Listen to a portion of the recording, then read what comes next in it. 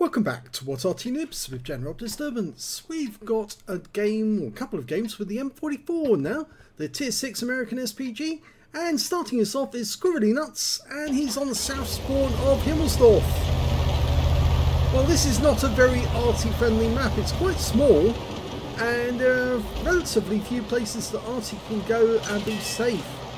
Oh, in this map, in this game, there's three arty on each side, and it's a tier six game with tier five arty on it. Okay, the enemy team has got an M44, a Gorilla, and a Fifi, and our team has got an M44 and two Fifis. I think a lot of you would probably know the Fifi as the Lethe. Uh, the reason for that obviously is uh, that's the name that most people call it, but in actual truth the uh, the Lethe, leaf blower, Luthathatha, or whatever you want to call it, uh, it's still quite um, an OP premium arty. I'm wondering why Squirrely Nuts is uh, doing what he's doing at the moment. I think he hasn't made up his mind where he wants to shoot from.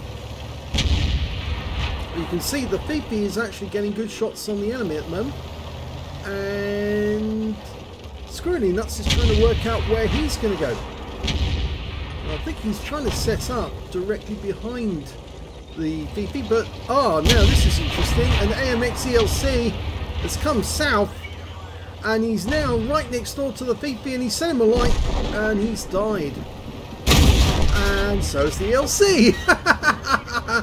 yeah, that was a bit of a mistake. You don't go directly in front of an M44's 155mm howitzer because it's capable of 550 alpha and if it does penetrate you as it well the ELC does have very thin armor then you are going to die very promptly.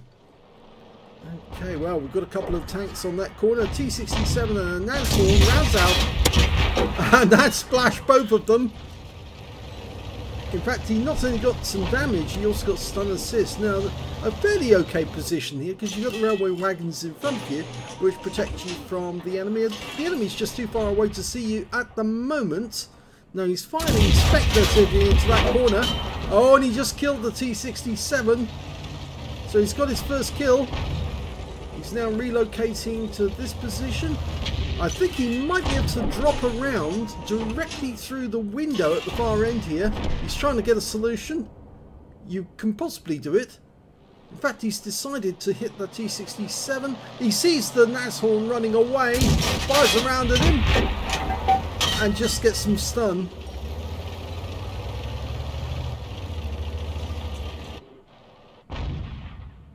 Okay, the enemy Gorilla's been spotted.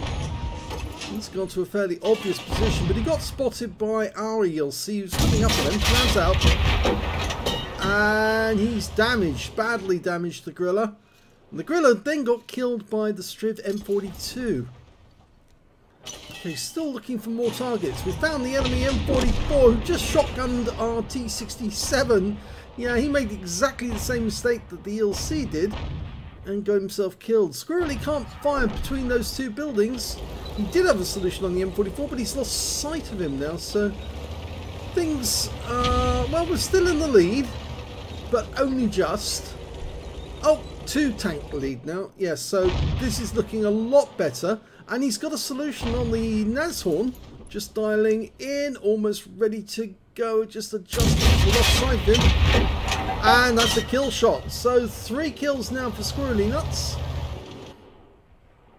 In fact, we can see the T-67, but he's not far enough away to actually be able to loop a shell into that corner. And the enemy M44 has come in this direction. And I think he knows that Squirrely Nuts is here. Hello, locked on, and. Oh, and he set light to him. The other M44 fluffed his shotgun. And that's four kills now for Squirrely Nuts. There's only three enemy tanks left, and they're all up the other end of the map. So I think he can actually just drive straight up there and start shotgunning a few more. So that's two tanks he's killed by shotgun. He's actually lining up on that corner because he's going to try and lob a shell into the enemy carrier and I don't think he can at the moment. No, there goes the M6. Uh, can't get a solution on the T67. There's an enemy KV-1S somewhere around. Yes, it still hasn't located him. Oh, there he is. He's actually come up behind our two guys. And now it's just one enemy left. He's trying to get a solution, so no, can't get a position there. He's backing up to see if he can shoot over the buildings. No, the buildings just get in the way. The best thing to do is just drive up behind the enemy. And there's the last death. Oh, no, it wasn't. It was one of ours. Sorry. We just lost our KV-1S and the enemy now, well, it's one versus three. Our Fifi's sitting in the corner. And I don't think he's got shots on that KV-1S either. And the best way to get at him would be to just literally drive up behind him and shoot him in the rear.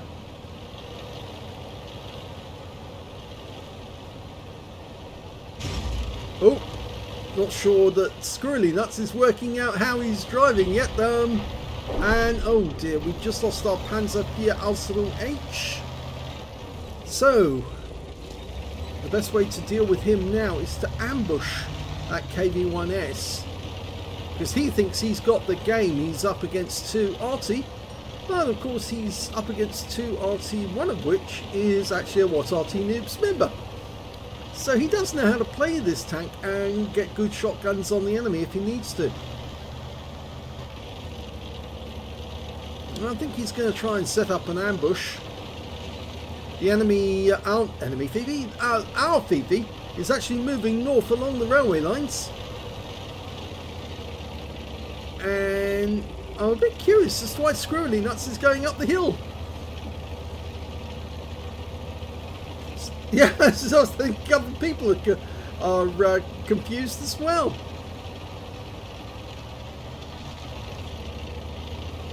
Now, I think he's taking this position so he can get uh, decent shots on the enemy once he's spotted. But I have the feeling the enemy tank is just going to go to the cap circle and start capping.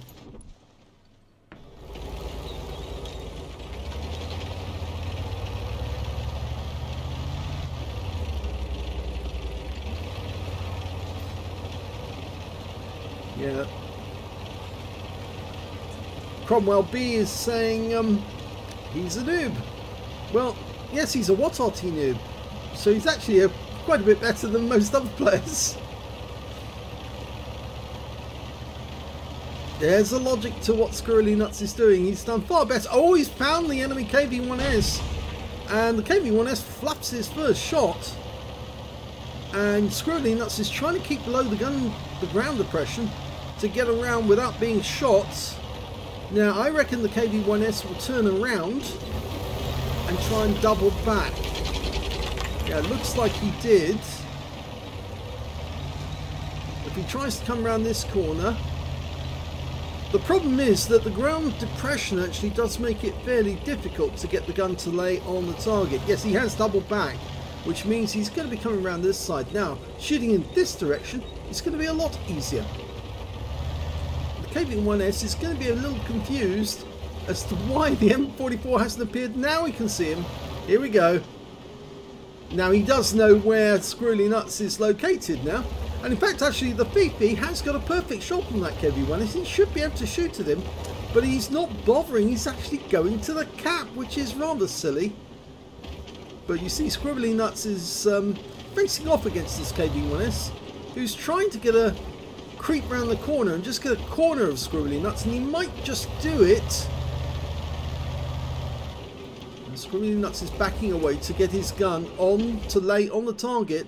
He's now going to aim to see if he can do it that way. The KV-1S knows what happens when you get shotgunned by an arty though. That's the problem from him. And also the worry for him is that even if Squirrely Nuts just fires into the ground next to him, he will die. So he knows he can't really come around the corner. And now the Fifi is starting to fire at him from the cap circle. Whilst he's capping. Yes, he's now starting to get hit. And there you go. yeah, don't come around a corner where there's an M44 aimed at you.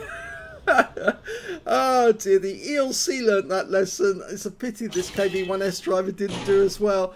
Let's have a look at the second battle. In the second battle, we've got Fluffy Little Kitten, and he's on the north spawn of Mountain Pass. Game started.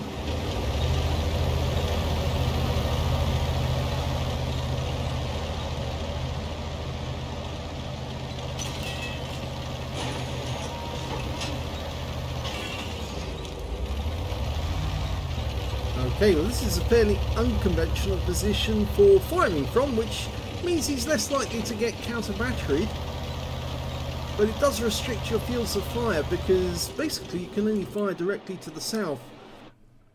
Okay, his first target AMD 178B. That's out. Close. And he's got some stun off that one. And he's picked up some stun assist. Okay, there are some enemy tanks in the south. There's an SP1C. South. Long flight time. Oh, direct hit right on his front. He didn't like that one. And he's pulled back into cover. Okay, there is a T20. Oh, and a Striv as well. This is a good target. He can really do some serious damage to this guy. And the first shell actually goes to the left and behind him. It's unfortunately he's in siege mode, so he's very accurate. And he's just killed our AMD 178B, and now he's out of siege mode and running. So he's lining up a shot. In fact, he's decided to go for the Hellcat instead. They can just about get a shot on this guy, but unfortunately we've lost sight of him temporarily. So we're firing into that corner, and he got a direct hit. So obviously correctly worked out where the Hellcat have moved to. And you can see the Striv is now on that corner as well. Oh! Now he did get counter battery. The enemy GW Panther works out where he was. He's going to fire around in there. Rounds out. Oh! Yep, he killed the Striv and damaged the T20, but he has to move from this position because the enemy managed to work out exactly where he was so he's gone back, aiming the same spot again, trying to get that Hellcat. He's now sitting in that area, and oh no, missed that T20. The shell happened to uh, hit the rock face instead. And there's an enemy Tiger 2 coming up the ice road. And this is kind of awkward because now if he drives out from where he is, that Tiger 2 might... Well, I don't think he'll see him at the moment but he might see him in a short while if he doesn't move. Okay, we've got an IS hiding behind the rock face. Lining up the shots. Rounds out. Oh, this could be a kit.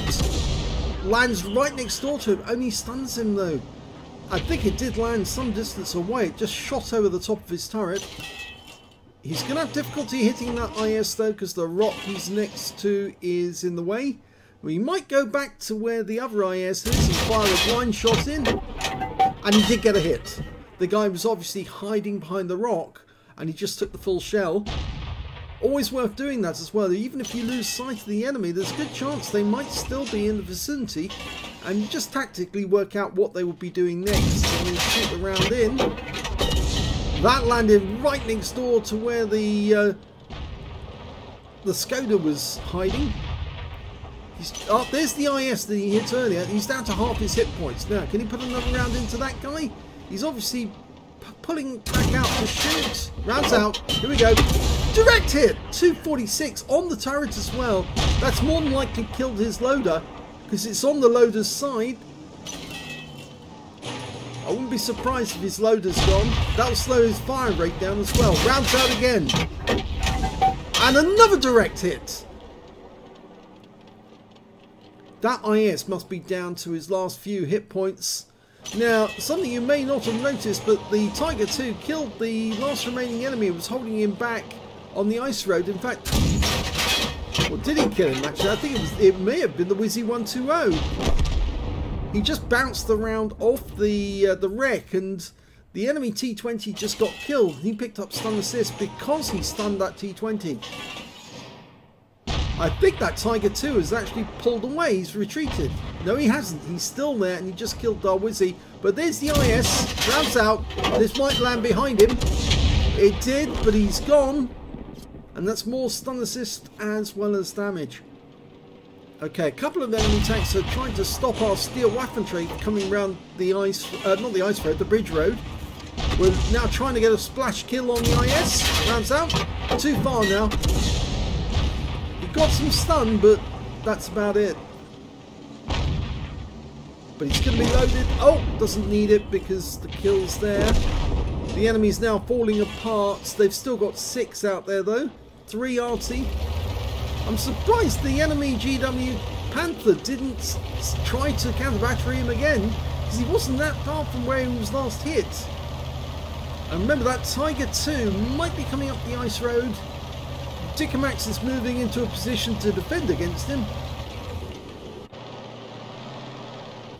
Oh, Tiger 2 in sight, locks on, gets a hit, needs to get behind cover quick. The Dicker Max gets a hit as well, but the trouble is that Flappy Little Kitten was seen by the enemy arty, so therefore they know where he is and they might be trying to hit him now. It's possible that an enemy shell might be inbound. He's loaded. He's getting ready to shotgun this guy. Locks on. Let it dial in. Now you can go. Yep, 45 hit points. Didn't get the kill, but stunned the guy enough. And there he goes. Kill shot went to the Dicker Max. Okay, now he's looking for the enemy RT. Oh, no, we've got Skoda T25. He's dialing in. Two enemy RT left. He's anticipating there in this area. There's one of them. The M44. Dialing in, rounds out. Fires before he was fully dialed in, but Oh, kill shot right on the money. The dollars per minute algorithm must have kicked in and the enemy said, okay, well, we'll let them have these ones because they're almost dead. And there's one left. He's upside on the cliff, going down to try and do a shotgun and survives the fall, but badly wounded. And a last shot goes in and it would have killed him with Splash, but he was already dead because the T-44 got there before him. So an excellent game there from Fluffy. Two kills and a nice bit of damage. Let's have a look at the end of battle stats for both games. Here's the end of battle results, and it was a second class tanker for Squirrely Nuts in the M44 on Himmelsdorf. He managed to get a fighter badge for getting at least four kills, including two shotguns, uh, well, three shotguns actually, because he shotgunned the AMX ELC, then he had an M44, and then finally the KV-1S to win the game as well as an arsonist because he set light to one of the enemy and watched them burn up. That was the ELC, I think, if, if I remember correctly. And also got a bruiser medal for getting at least five critical hits in the game. He managed to get 12. His win rate from that battle was 3,047. Let's have a look at the uh, scores. Well, didn't get the highest damage in the game. The Cromwell B got 1,717 hit points of damage. The next high scorer being the KV-1S that he shotgunned at the end. He got 1,631. And then we've got Squirrely Nuts himself with 1,431. When it came to kills though, he had the highest number with 5 alongside the KV-1S who also had 5. And then 3 kills went to the Cromwell B and the M6 on the enemy team. And when it came to base XP, it was the Cromwell B who did the best with 961. Then we got Squirrely Nuts with 869, and the third highest was the Type T34 with 603 base XP. The Striv M42 managed to get a Pascucci's medal, so he must have killed two of the enemy RT in that game. There was three of them. Squirrely Nuts fired only eight rounds in that entire game. That was quite a long game, but he only got eight shots. Five of them were direct hits, and three of them were penetrations on the enemy as well. Six splash, damage of 1,431 hit points, of which 778 were up more than 300 meters. Now I'm rather fascinated to find out which ones did he actually pen. And uh, it wasn't that one. No. No. So it's the ELC he penned, the Nashorn he penned, and the T67. Now, he took out the Nashorn T67 at fairly long range, and of course the ELC shot at short range to get the pen on him. Let's have a look at the rest of the de details. Six enemy vehicles were damaged, five were killed, 95 hit points of damage assistance, and 84 hit points of stun assist off five stuns. On a free-to-play account, he earned 21,080 credits, got 10,540 from personal reserves, a total of 31,620. And after resupply of ammunition, he took away 27,580 credits profit. He got 869 base XP, same again for completing a mission, and took home 1,738 experience points altogether. So quite an interesting game. RT won it in the end. The KV-1S thought, oh well, I'm only up against two RT. Yeah, two RT who can take you out. That's the problem, you see, because the uh, Fifi was firing at him from the cap area, and then Squirrely Nuts blew him away with a nice little shotgun. So that was the end of the first battle. Let's have a look at the second one. And Fluffy Little Kitten was on the Mountain Pass in the M44 on this one. He managed to a first class tanker for uh, the game. He also got a bruiser medal for getting at least five critical hits. He got 13. And he also got a Confederate because he hit more of the enemy than anyone else on his team. At least six tanks taken out by other teammates. His win in that game was 4,106, which is quite a decent score.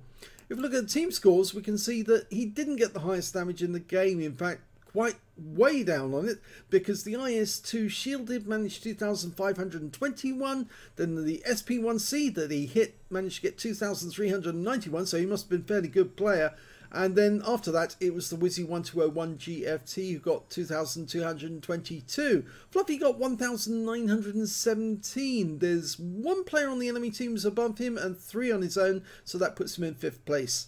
When it came to kills, the top scorer was the T44 with 4 kills, 3 kills the IS-2 shielded on his own team and the SP-1C on the enemy team. And then there's 2 kills for Fluffy. In fact, he was the only one with 2 kills in the game.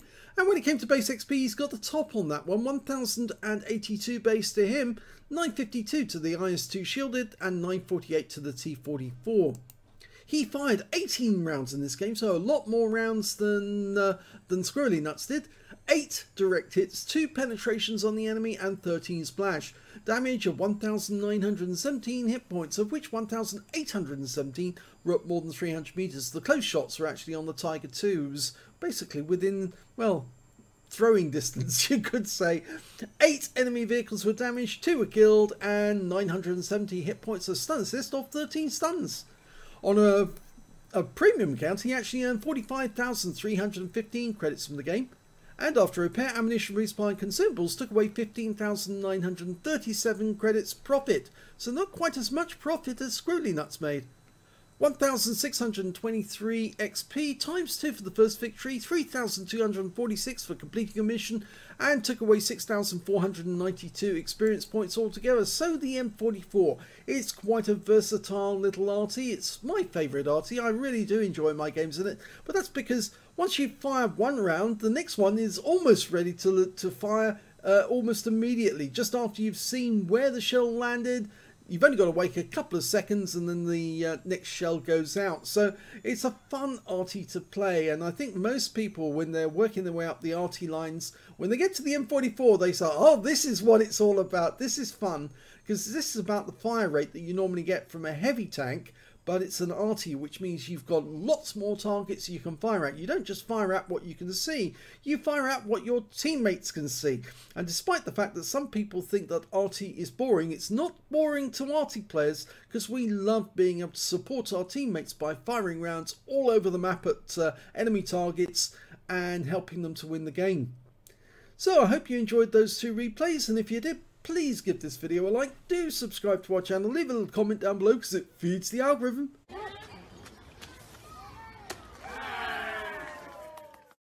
And thank you for watching.